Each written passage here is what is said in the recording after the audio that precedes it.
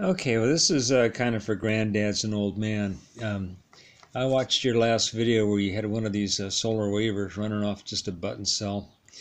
And that inspired me to go this way instead of a double AA battery, AAA battery on this motor here that's got the levitated rotor. And um, it's a lithium battery.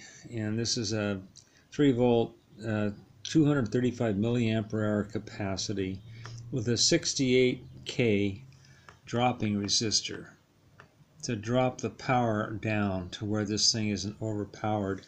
And the amp draw on this is um, about 25 microamps in uh, daylight and then 35 microamps in complete darkness.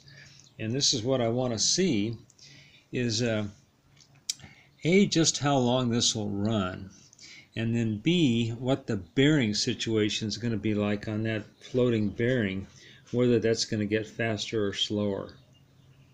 So that's going to be the test uh, on this thing here, and uh, this is uh, following uh, Granddad's um, idea of just putting a small button cell on one of these solar waver drive units, and because the amp draw is so low on it, he's not even using a solar panel. He's just got the uh, battery hooked right up to it.